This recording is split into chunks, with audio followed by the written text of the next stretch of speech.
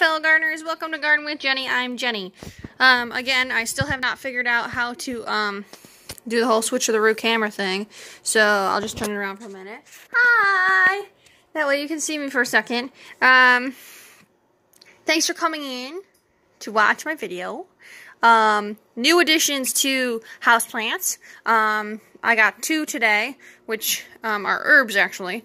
And then last time I showed you my Easter stuff, so my bunny, and then these little Easter egg succulents. Um, my parents came down to visit for Mother's Day, so she got me some hummingbird stuff that I haven't I haven't hung up yet in the yard. Um, I kind of want to try and do two videos today, but as you can see, I have Anakin. Anakin, hi, buddy. Sit. Good boy. Look at that pretty little doggy. Good boy. Good boy. Do you remember last time I tried filming with him home? He was like barking and barking and barking. And look at how quiet and patient and beautiful he is. Oh, I love you. Okay, back to the plants. So, um, I have had plant death this week. And it's my own fault because I wasn't paying enough attention. Um, I actually dried out my hydrangea that was in that cute little hydrangea bucket. Like, I burnt it to a crisp because I forgot to water it and I had the fan on. Um, I checked everything else but the hydrangea. I don't know how I missed the hydrangea, but I did, and now it's dead, and it is what it is. It happens. Plant neglect. I always said that I would start like a government funded agency for plant neglect and start charging people or putting them in jail for neglecting their plants. Crazy idea. I would go to jail. I would go to jail because I killed that hydrangea plant. 100% honest honestly. Okay. So we're going to start over here. So you can see the hydrangea plant is no longer here.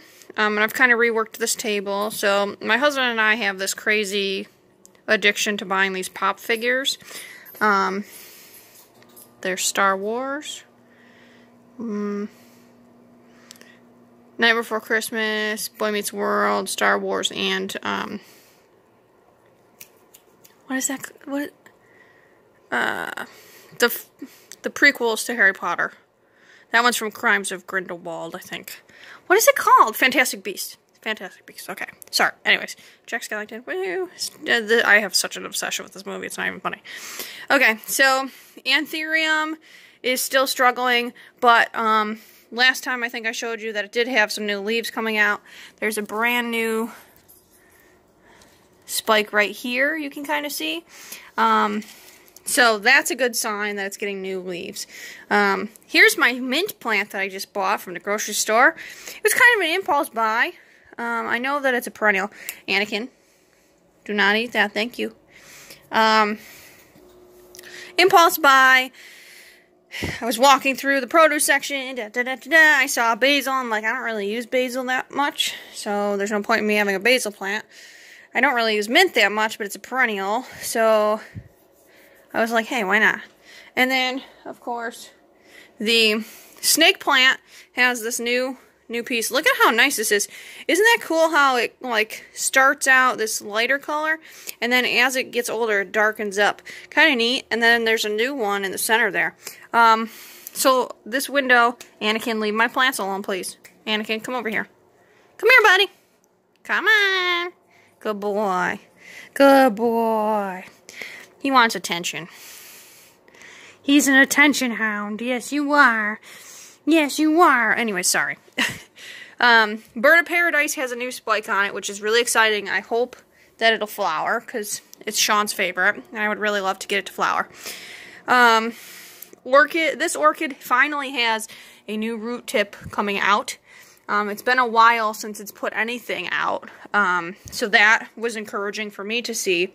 I did buy a new sphagnum moss, so since it's not in flower, I may repot that in newer moss because I almost wonder if this mix is staying too wet or I maybe I have it too compacted in there because their roots do like to dry down. Um, and then this is Aunt Vi's Thanksgiving cactus. You can see all the brand new segments that are this lighter green color, which is really um, awesome. For some reason, it's only on one side though.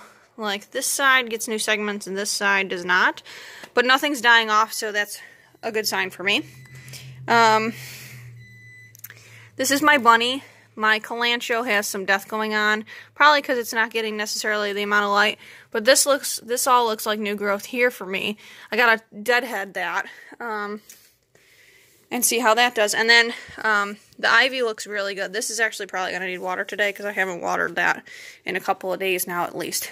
Um, on the windowsill, so we still have my little succulent terrarium garden going on here. Just, you, you can kind of see the roots here there it's blurry because of the glass and stuff, but that little guy there, focus, camera, focus. It's not going to focus because it's focusing on that other leaf. Um, that little guy there, he's pushing out a good amount of roots.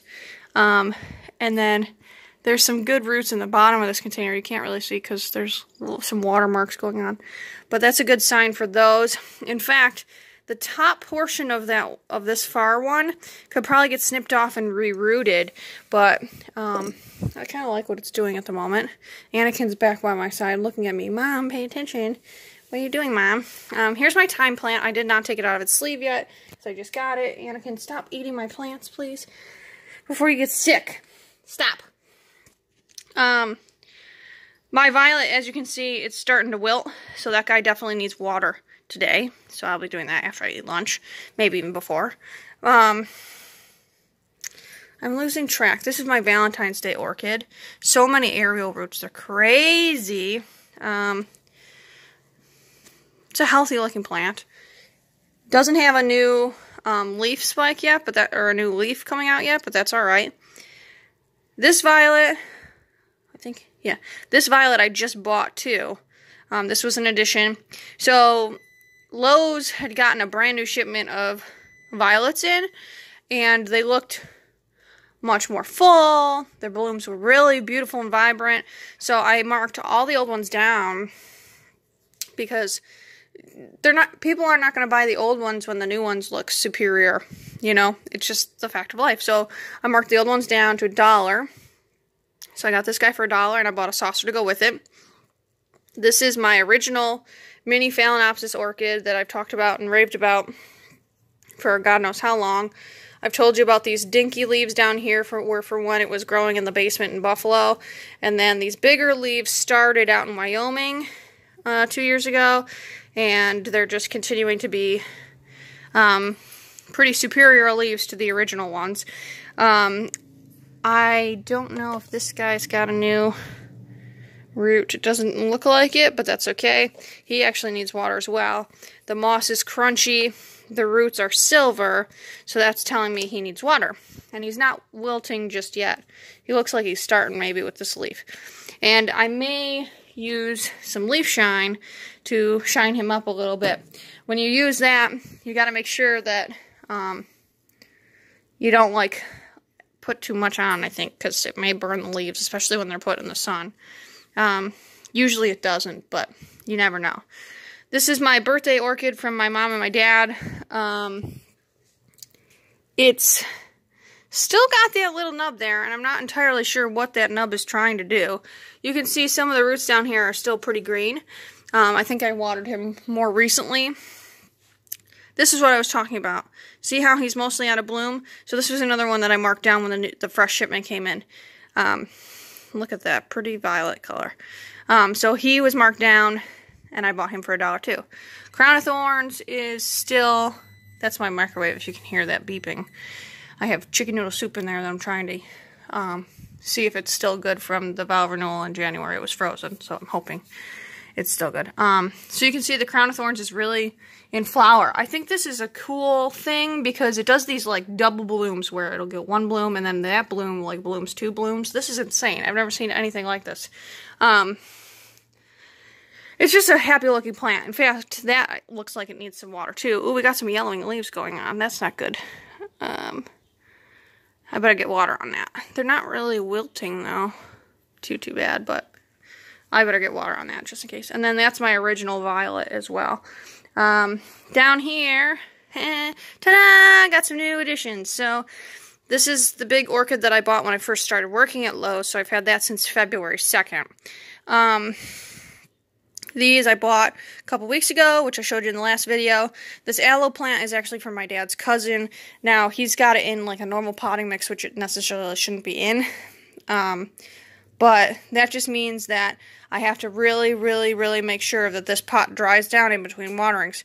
And you can almost make it so that these leaves become pretty skinny. Um, like this one here is almost completely flat, uh, whereas these are still plump. So we're going to roll with it. And then two Dracaenas, which um, I'm not sure, this is Warneckii. This one here is Warneckii. So this was on clearance as, as well because you can see there's a little bit of overwatering going on, um, a little bit of too dry going on. So I got him for, I think, $3. Yep, I got this one for $3, and then this guy was for a dollar. And this one needs soil added to him. This one is just kind of floppy. He doesn't have very good support, but I got him for a dollar. He was sitting at work for a while. Um, you can kind of see which leaves I've leaf shined. I only did a few. I did this one, this one. And you can kind of look at this one. You can see all these splotches of from dirt and dust and stuff. So that one's going to need to be leaf shined as well. Um, I hope that I will get to do an outside video today as well. It'll be completely separate from this one because I don't want to overwhelm my phone with uploading the videos. Um, but there's some activity out in the yard that I really want to show, and I think today would be a good day. I can, you know, um, I could close the gate door, take Anakin out, let him kind of just do his thing. I did find the other day when I took him outside to go to the bathroom, early, early in the morning when Sean went to work that um, we had an opossum in the yard. Um, so maybe I shouldn't necessarily leave him off the leash. That could be a little scary. But um, I want to show you the um, the yard just so you can see what's going on and stuff. The weeds are completely out of control. We had to weed whack and all that stuff. Um, plus, you got to see my uh, my potatoes, and I'm to have to pull my lettuce, and um, I want to try and transplant my tomatoes. I got a husky red cherry tomato that I want to plant in where the lettuce was. So, that is that. I hope you enjoyed my newest houseplant video. And if you have any questions about any of the plants that I have, feel free to put it in the comments. Um, I do check my comments when I um, think to do so. I'm like I'm not on YouTube all the time anymore, so uh, if you do comment and I don't answer you right away, have some patience with me because um, I'm forgetful. uh, not that I don't value your comments and things. Um, I just want to be honest with the way I am. I forget to check YouTube. Um, but anyways, so let's end this video, and then in a little while, hopefully I'll get you, I'll get outside and I'll get to make the new video so you can see what's going on out there. Okay? So, I'm to turn this around for a second. Until next time, stay green, folks.